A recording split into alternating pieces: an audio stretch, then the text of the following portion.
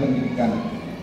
Nanti di kelas akan disampaikan beberapa pengetahuan yang pertama yaitu peran Kementerian Keuangan dalam mengelola keuangan negara melalui APBN, Anggaran Pendapatan dan Belanja Negara.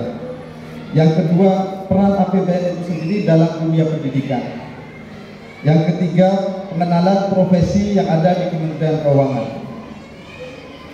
Yang keempat yaitu cerita inspiratif untuk menjaga semangat belajar adik-adik sekalian. Nanti uh, kami mohon di kelas nanti bisa interaktif ya, tanyakan apa saja tentang Kementerian Keuangan, tentang penganggaran, tentang APBN. Silakan nanti bertanya kalau memang ada yang belum jawab. Kami percaya bahwa pendidikan bukan hanya mampu menambah pengetahuan, namun juga memberi kesempatan luar biasa bagi semua orang untuk mengubah kehidupan menjadi lebih baik.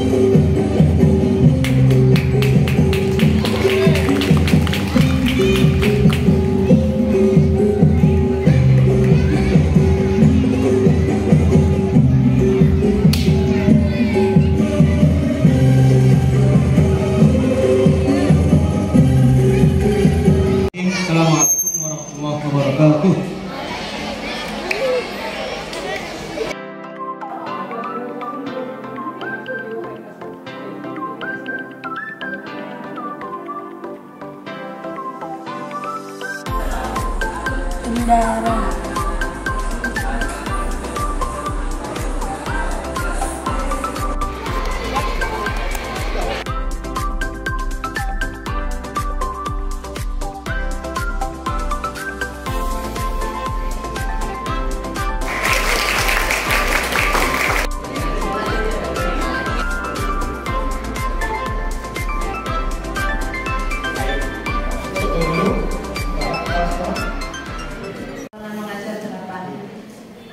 Terima kasih atas dukungan, partisipasi dan semua eh, jerih payah dari adik-adik sudah mau meluangkan waktu, meluangkan tenaga dan eh, mau bersama kami dalam rangka kegiatan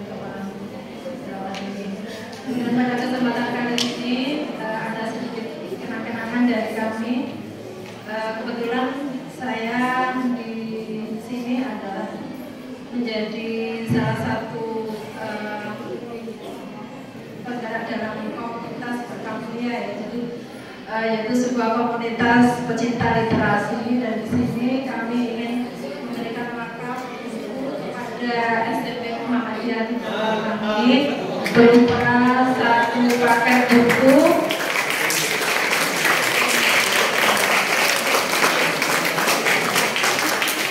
satu paket buku Pintar Iman Islam. Di sini ada 12 paket eh, 12 buah buku yang isinya merupakan eh, mengenai akidah ya, mengenai akidah, mengenai ibadah dan sebagainya. Semoga bukunya bisa dimanfaatkan sebaik-baiknya eh, agar menjadi amal jariah buat eh, atau yang mewakafkan. Jadi